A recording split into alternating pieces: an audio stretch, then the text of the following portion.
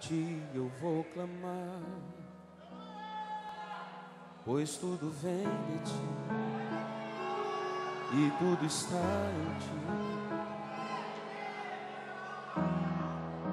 Por ti vou caminhar, tu és a direção, o sol a me. Ei tudo pode. Aleluia. Seu amor jamais.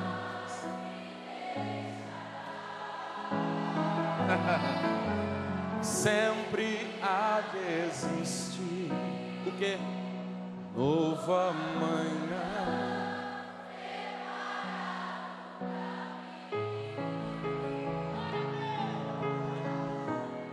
Preparado para mim.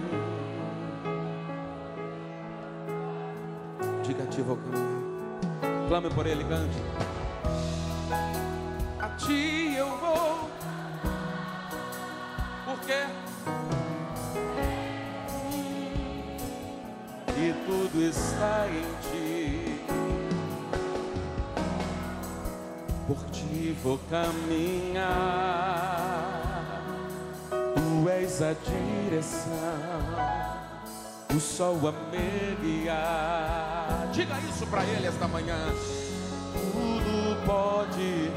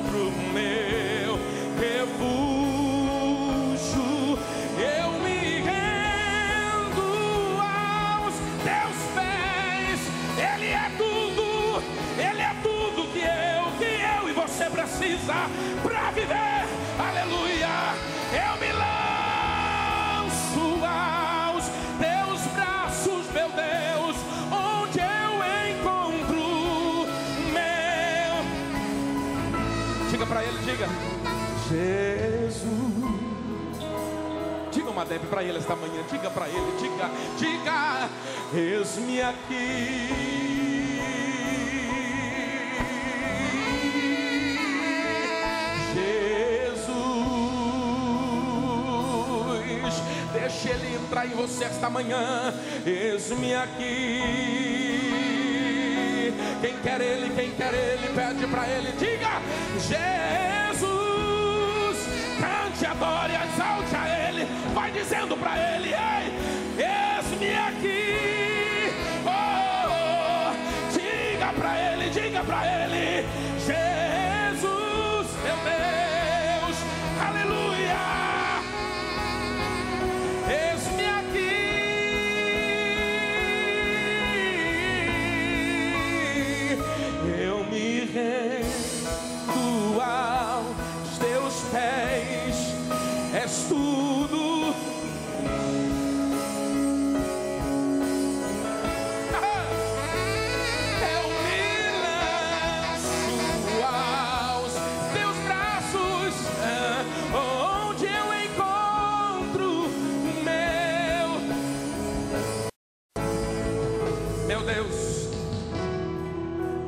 paz do Senhor.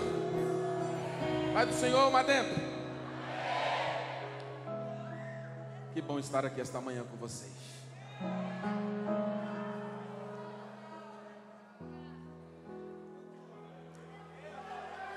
A atmosfera aqui está tão boa. Eu vou ser um pouquinho mais ousado do que a nossa, a nossa irmã peruana. Ela disse que quando ela pisou o pé na calçada, ela sentiu um negócio diferente.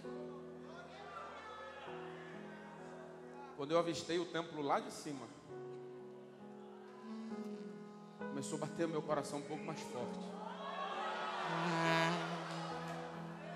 E eu tenho cinco testemunhas que estão comigo que alguém estava no carro, o telefone tocou. Um amigo meu que estava com a, a irmã Lídia Moisés. Ele disse, eu falei, eu pedi para ele, vai orando por nós aí que nós vamos ministrar essa manhã, para que Deus nos use essa manhã para ministrar um louvor para ele. Ele disse, Deus já tem tudo preparado, Você vai sentir a presença dele naquele lugar. Minha carne começou a tremer e eu vim ali no carro me controlando para não dar uns terra ali. Mas eu estou feliz por estar com vocês aqui. Eu estou sentindo a presença do Senhor. Obrigado a toda a diretoria da Umadem. Pastor Flávio Pena, meu amigo. Aos demais obreiros, cada um de vocês, eu tenho um amor especial por vocês. Deus abençoe. O diabo tentou fazer um estrago no Paulinho ali, mas ele está de pé. Obrigado, pastor Daniel, pelo carinho, pela amabilidade, seu pai, a todos os pastores regionais que estão aqui. Que Deus abençoe cada um de vocês. Meu respeito, meu carinho ao pastor Elias, presidente desse trabalho. Que Deus abençoe. E quem veio aqui para adorar o Senhor, diga amém. Veio para adorar, diga glória a Deus. Cante comigo assim. Adorarei, adorarei, Ei, pois o véu está rasgado e você para de ficar com a boca fechada e vai cantando para ele. Adorarei, adorarei, não me interrompa, o quê? Quero adorar. Eu li que o véu do templo se rasgou. Eu li que agora eu. Quem quer adorar Ele esta manhã? O sangue que Jesus por mim derramou. E fez isso, me deu livre acesso para eu entrar. Quem entra comigo nesta manhã, aleluia? Ninguém agora vai sentir por mim, jamais a tão real presença do Senhor. Eu abraço Ele, eu me rendo a Ele. Sou sacerdócio real, sou povo adquirido. Alma deve está comigo esta manhã para adorar ao Senhor. Quem está, adore a Ele, vai dizendo: Adorarei, adorarei, pois o véu está rasgado, ninguém te impede mais, você tem livre acesso. Oh, oh, adorarei,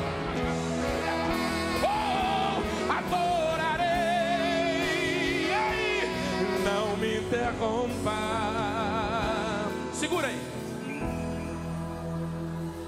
Eu falei lá semana passada em Campo Limpo Paulista.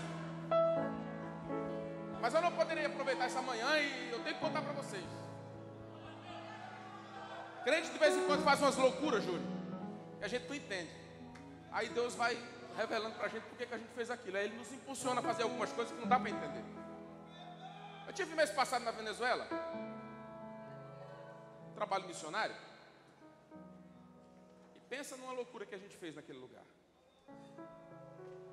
Mas eu disse para meus amigos que se fosse para passar tudo que eu passei novamente por amor às almas que o Senhor salvou naquele lugar, eu passaria. Para vocês terem uma ideia, numa cidade chamada Cumaná,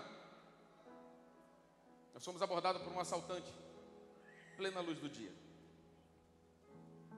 Ele tirou todos os pertences do pastor que estava conosco do Brasil. O pastor que nos estava acompanhando da Venezuela também, ele tirou tudo. E quando ele virou para mim com a arma engatilhada e o dedo no gatilho do revólver, ele disse: Me passa tudo que você tem. A primeira coisa que ele me pediu foi minha aliança. Eu fiz um acordo com a minha pretinha que eu não dava isso aqui para ninguém. Eu não tiro do dedo nem para ajudar ela a lavar a louça. Não tiro. E na hora que ele pediu a minha aliança, eu disse: e aí, Senhor? E o meu acordo com ela. Passou um filme na minha cabeça e ele começou a golpear minha cabeça com um revólver. E eu pensava no Brasil, nos irmãos daqui, na minha família, no meu filho, na minha esposa. Eu disse: será que é agora que eu vou? Aqui, numa terra estranha, distante de casa. Pastor que estava comigo da Venezuela deu um grito e falou: Para de fazer isso com eles, são pastores do Brasil, vieram aqui para abençoar esta pátria. Ele, enfurecido, viu que não tirava aliança, me golpeou uma vez mais e saiu correndo, foi embora. Nós nos ajoelhamos ali e agradecemos a Deus pela vida que Ele nos poupou. Mas o que foi mais interessante disso é que dali nós fomos para um lugar almoçar, uma casa de uma irmãzinha simples, só que a notícia chegou antes que nós. E lá naquele lugar, pastor vai. Quando estávamos ali, a, a vizinhança começou a se aproximar para querer saber o que tinha acontecido. Nós começamos a falar de Jesus. Aproveitou o tumulto ali, vamos falar de Jesus. Ele já tinha feito coisa grande, estávamos falando dele ali. Alguém rompeu uma multidão em lágrimas e disse assim: Eu quero voltar para ele. Eu preciso voltar para ele, eu estou com saudade dele.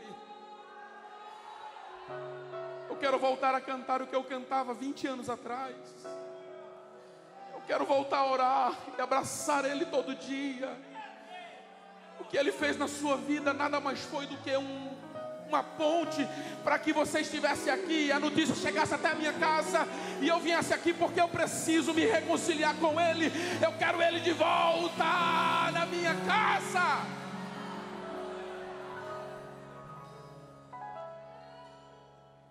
Vale a pena fazer alguma coisa por Ele. Me perdoe os irmãos da Bahia, eu também sou da Bahia, mas eu queria que você cantasse comigo um trechinho de uma canção. Espírito Santo. Cante comigo. Meu consolo. Sabe aquela hora que você está sozinho, achando que todo mundo te abandonou? Que alguém quer te matar, destruir. Espírito Santo é com Ele que você pode.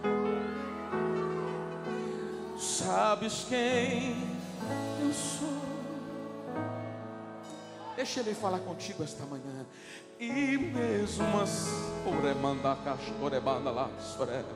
se importa, ok? Comigo. Quando eu paro para pensar nisso, e mesmo assim moras em mim. Faz um lindo coro para ele, canta para ele. Tu és santo. Canta para ele, canta, diga para ele.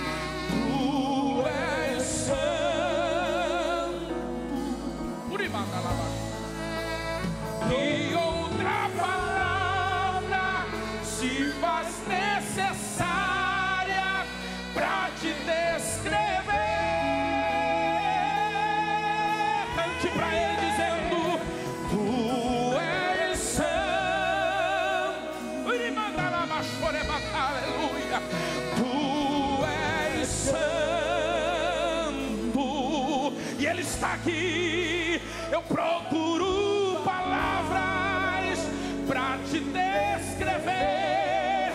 Espírito Cante uma vez mais, Espírito Santo. Talvez você não falou com ele ainda hoje, ainda hoje, mas tem um motivo. Você tem estes minutos para falar com ele, ele está próximo de você. Hum, aleluia. Espírito. Hum, tem gente entendendo, tem Deus trabalhando esta manhã em vidas. Ah, sabes quem? Eu só ele te conhece. Talvez a tua não te conheça, o teu patrão não sabe o que, mas ele conhece. Ei, se importais, é especialista nisso comigo. Para para pensar nisso, para. E mesmo ele está trabalhando, ele está fazendo, está agindo, ele é capaz, moras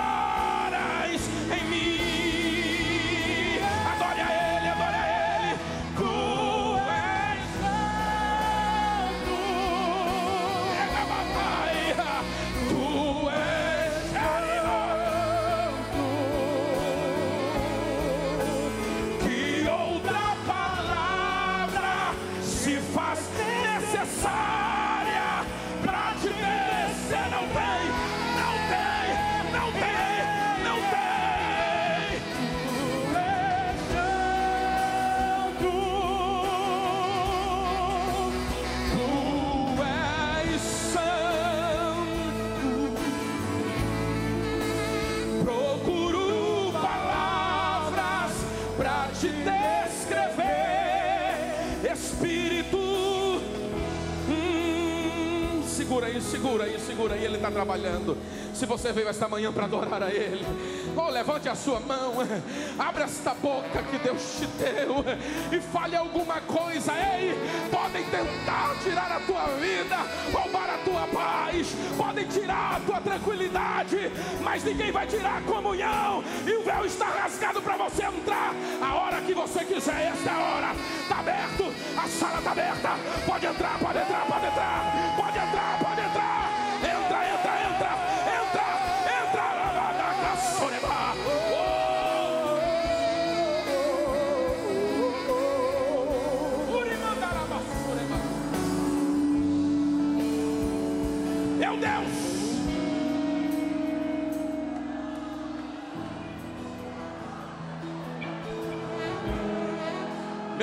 Otávio.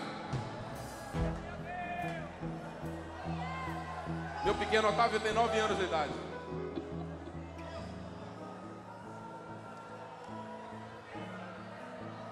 Otávio nasceu com alergia.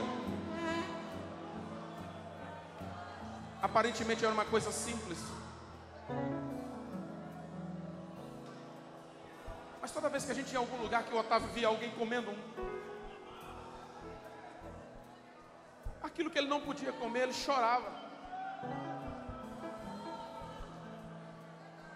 Mas desde que meu filho começou a falar, eu comecei a ensinar para ele que Deus é Deus, que Jesus é Jesus e que Ele faz milagres. Um dia, ele estava na igreja comigo, um culto de domingo. Alguém pregava uma mensagem e dizia assim: Jesus cura. Jesus cura. Jesus cura. Ele olhou para mim e disse: Pai, se Jesus cura, por que, que eu ainda estou com o mesmo problema? Na época ele tinha oito anos de idade. Eu disse para ele: Você acredita nele? Ele disse: Papai, eu acredito em Jesus. Você acredita que ele pode te curar? Ele disse: Eu acredito. Não fui eu que pedi a cura dele. Foi ele que profetizou naquela noite de domingo. Porque ele olhou para mim com os olhos cheios de lágrimas e disse assim: Papai do céu vai me curar. Nós fomos para São Paulo fazer umas compras e lá em São Paulo ele me surpreendeu com uma atitude. E o pastor Daniel sabe muito bem da história. Estávamos indo para um restaurante almoçar, ele passou por um lugar, tinha uma, uma duas senhoras sentadas à, me, à margem da, da, da, da, uma calçada, elas estavam fédidas. Ele começou a olhar para aquelas mulheres, eu tentando entrar no restaurante, ele olhando para trás. Ele olhou para ela, eu disse, filho, vamos. E aí, enfim, com muito sacrifício, ele entrou no restaurante para almoçar com a gente. Só que ele me surpreendeu com um pedido que ele nunca tinha feito pedi um pratinho de feijão com arroz para ele comer, ele disse assim: Pai, eu quero um lanche. Eu disse: Você não pode. Ele disse: Eu quero. Eu disse: Tem queijo no lanche. O moço faz o lanche com manteiga na chapa. Você não pode. Ele disse: Eu quero. E eu vou comer. Olhei para a mãe dele e ela disse: Eu estou com antialérgico na bolsa. Deixa, nós estamos passeando, deixa, não tem problema. Ele pediu. Eu até achei que ele fosse pedir sem o queijo. Ele disse para o garçom assim: Faz um lanche para mim, mas coloca queijo. Eu disse: Queijo não pode. Ele disse: Pode pôr queijo que eu estou mandando. O garçom veio servir o lanche para ele. Disse: Parte no meio. Ele comeu uma metade do lanche. Nós ficamos olhando para ele, Júlio. E não aconteceu nada. Me surpreendeu que quando ele foi embora, ele disse assim: embrulha esse aqui que eu vou levar para a viagem. Ele pediu uma coca para mim. Eu disse: aí tá de brincadeira, porque ele tinha tomado muita coca. Ele disse: eu quero isso aqui, a coca. Quando eu dei a coca para ele, e ele pegou aquela metade do lanche que estava embrulhado, ele saiu correndo na calçada em direção àquelas duas senhoras que estavam pedindo esmola. Aí eu saí correndo atrás dele, deixei a mãe pagando a conta e fui lá. Quando eu cheguei ele estava dizendo exatamente isso. Se você acreditar no Papai do Céu. Ele pode te tirar daqui e te levar para um lugar onde você nunca mais vai precisar pedir nada para ninguém. Eu estou falando de uma criança de 8 anos. Em lágrimas, abracei meu filho, falei de Jesus para aquelas mulheres, elas choraram, aceitaram a Jesus e eu disse para elas procurarem uma igreja. Nós voltamos para casa. No caminho, eu falei, deu remédio para ele? Ela disse, não dei. Eu disse, e aí? Ela disse, pois é, não deu nada. Aí minha mulher biomédica já começou a ficar com os neurônios, né? Já ligou do caminho no laboratório, marcou um exame no dia seguinte. Nós fomos lá no laboratório para colher o exame dele. Ele olhou para a moça da triagem na hora que nós estávamos sentados fazendo a triagem. Ele disse assim para a moça: Ó, oh, pode anotar aí, é a última vez que eu venho aqui, tá? Ela disse: Por quê? Ele disse: Porque eu não volto mais nesse lugar, eu estou curado em nome de Jesus.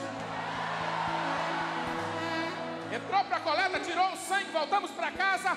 No dia seguinte estava em casa, aí daqui a pouco a Fernanda começa a gritar no quarto, parecendo uma louca. Eu disse, Jesus, e aí, o que é está acontecendo com a minha família? Um dado momento eu cheguei para ela e falei, mulher, por que você está gritando tanto? Ela disse, eu não sei, entrei no site, acessei o laboratório aqui, e o exame do Otávio saiu o resultado. Eu disse, tá, e daí? O que, que aconteceu? Diminuiu? Ela disse, não, sumiu, ele está curado para a glória de Deus. E eu digo para ele, tu Ei, precisa de alguma coisa? Clama por Ele. Tu és. Vai, diz para Ele, diz. que outra palavra se faz. Ele te ama. Ele cuida de você nos mínimos detalhes. Oh, oh, oh. Adore Ele esta manhã. Diga para Ele.